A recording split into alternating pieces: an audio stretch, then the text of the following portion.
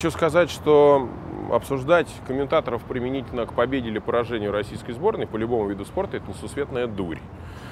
И если мы помним последний матч э, с Австрией наших футболистов, там совсем не Виктор Гусев комментировал, а Константин Генич, другой замечательный комментатор. Давайте запретим Гусева, теперь запретим Генича и запретим заодно меня, потому что иногда во время стрельбы российских биатлонистов я что-то скажу, наши промахиваются, некоторые несознательные граждане а, пеняют мне на это. Но я всегда говорю, что если в этот момент, когда наши промахиваются под мой комментарий, скажем, на каналах CDF, NRK, я не знаю, NBC, кто-то из российских спортсменов вдруг одновременно попал, тогда я просто сразу ухожу из профессии э, и вообще уезжаю в тайгу навсегда.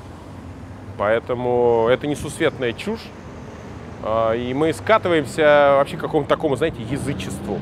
Мы уже не говорим слово «последняя попытка», мы говорим «крайняя» все летчики, мы все летчики, э, моряки и бобслеисты.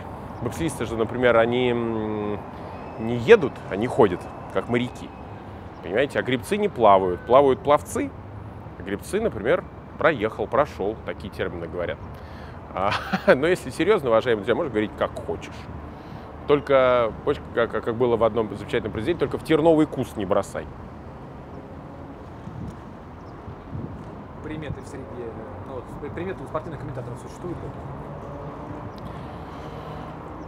Да нет никаких примет. К репортажам просто надо готовиться и все. А если ты ни черта не готов, но при этом там начинаешь свой день э, с того, что делаешь шаг левый, а не правый, это дурь, опять-таки. Поэтому надо работать.